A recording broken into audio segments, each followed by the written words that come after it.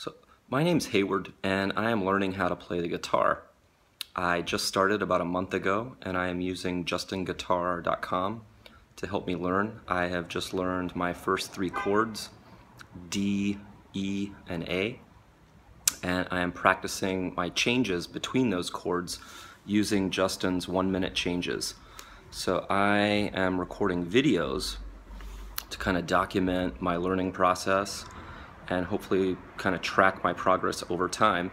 And I want to share that so that other people learning can see my process and, you know, uh, maybe get inspired to learn themselves and also so I can kind of watch and track my progress over time. So I hope this helps.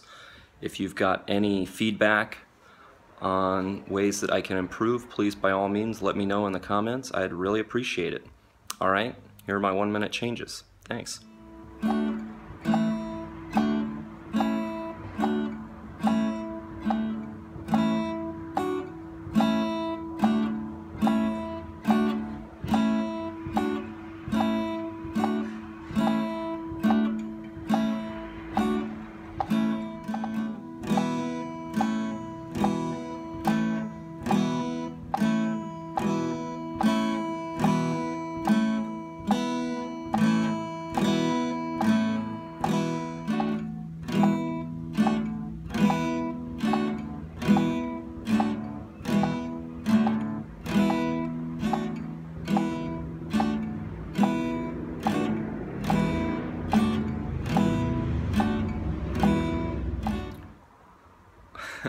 okay, so that was my first recorded practice of me doing my one minute changes. You may have noticed I had a metronome going about 72 beats per minute.